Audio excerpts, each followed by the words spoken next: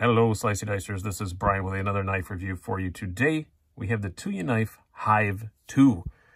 2. Uh, I did not get the original one. I think they're still available on the site. I think you could still add to cart when I just looked there a little while ago.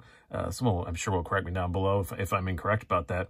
But uh, there has been a big change. Uh, primarily, it's, it's really basically just the blade. Uh, the old one was a more conventional kind of drop point. The new one is a Tanto. I would assume that most of the rest of the things I say about this knife will apply uh, to the other one as well, other than the blade shape.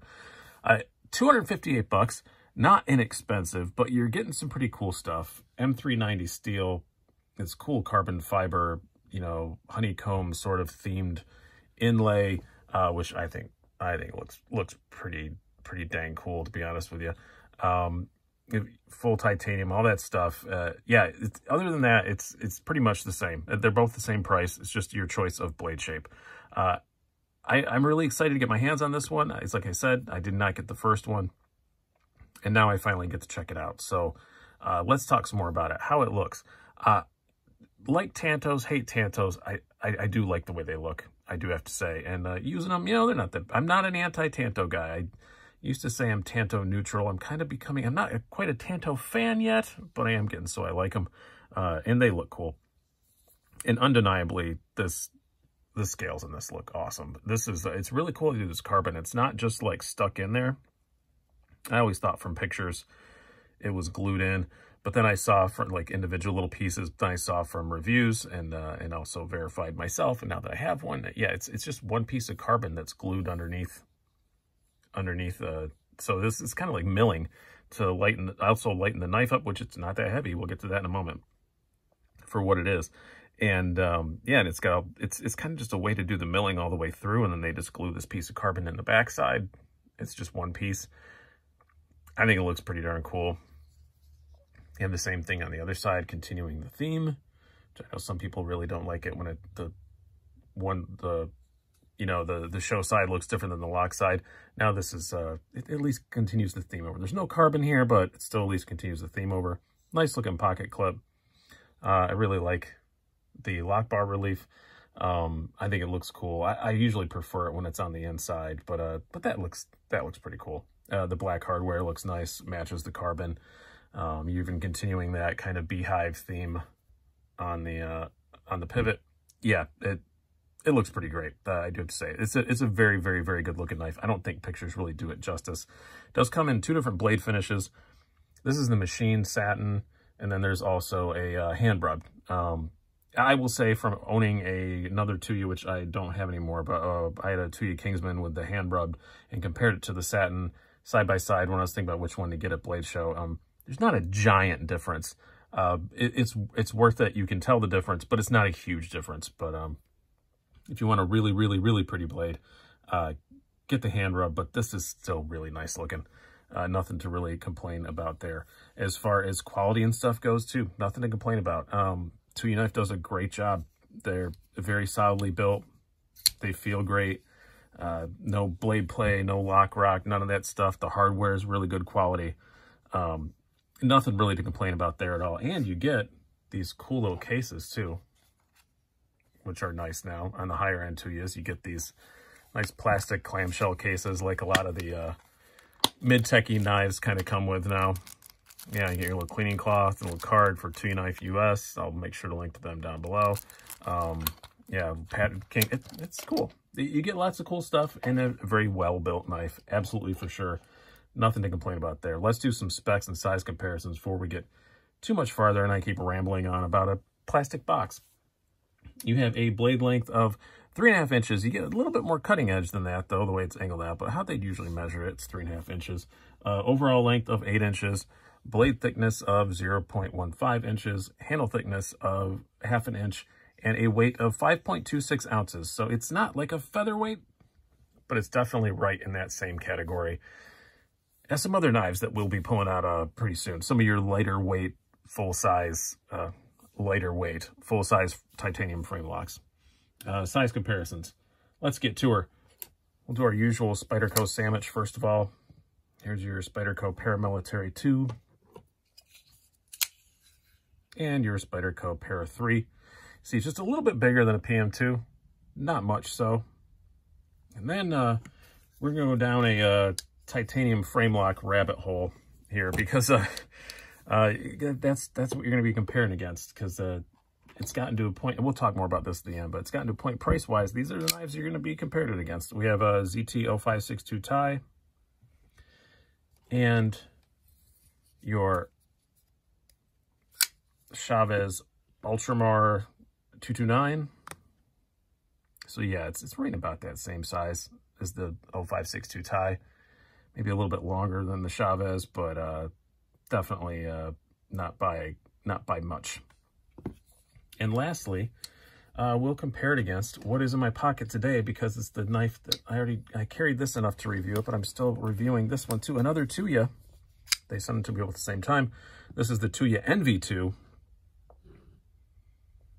So you see, it's quite a bit bigger than the Envy.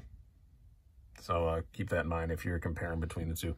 Similar prices and all that stuff. So, uh, all right. Now, uh, talk more about this knife. The blade, uh, it's pretty good. It's it's not it's not a thin stock at all. It's not too bad. I like that really thick tip on it, which you expect for a Tanto and the way they do it with this kind of the compound grind and everything. Uh, it's 22 thousandths behind the edge. Not mind-blowing, not amazing, uh, but not bad. It does slice pretty good, flat grind.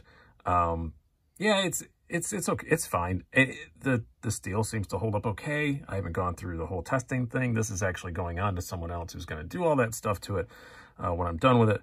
But um, yeah, it's a uh, it, it's it's fine. I like the blade shape a lot. It's very useful. Um, but it's not like a mind blowing like awesome slicer. I wasn't like horribly super impressed with it. Uh, but it came screaming sharp out of the box, and that's kind of what I found with Tuyas. Usually they're they're not as as thin behind the edge as some of the others, but they still work great. And uh, that's kind of what I came to with this one too. Uh, no big no big issues at all. It's just it just wasn't like top of the charts. Um, as far as the ergos go, though, it is excellent.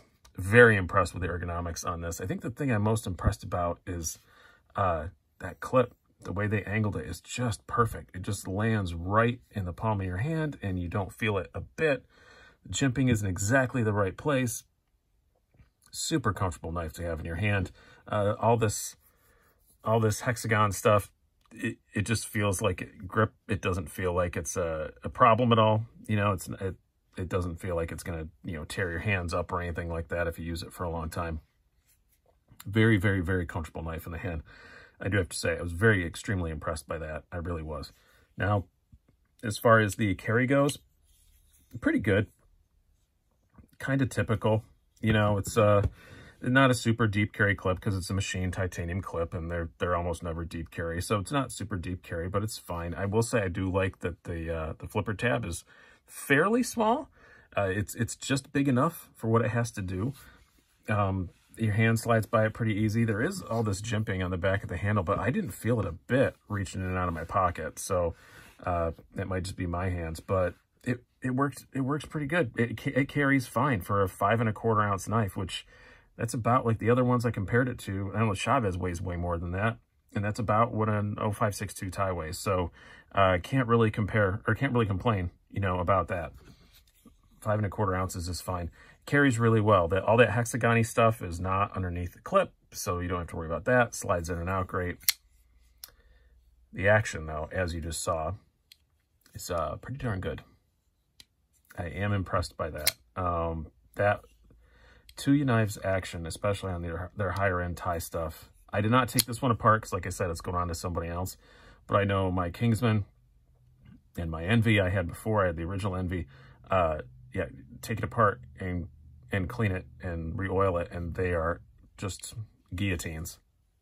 And this one is pretty darn close, even without doing anything to it. Detent is nigh on perfect. I wouldn't mind if it was just a, a tiny bit stiffer, but uh, that that's me. Um, I think most people would prefer it just exactly like it is. Um, yeah, really great action on this thing. It's a lot of fun. Uh, so my overall conclusion, what is it? Well, it's a great knife. Undeniably, it's a great knife. It looks cool. Um, very well built, as I said. Materials are fine for the price. Uh, my only my only drawback to it is uh, now at 258 bucks, which is what a lot of the higher end Tuyas are going for. And in this size range, you know, you're competing with stuff like this with a ZT0562 tie. Am I saying the 0562 tie is better? No, it's different. I'm not saying it's better, but it doesn't have the name recognition, you know, that Tuya does. It's it's kind of like, I think, uh, you know, when when Lexus came in the market and they were competing against Mercedes. Like, were they as good as Mercedes? Yeah, but they didn't have the name recognition.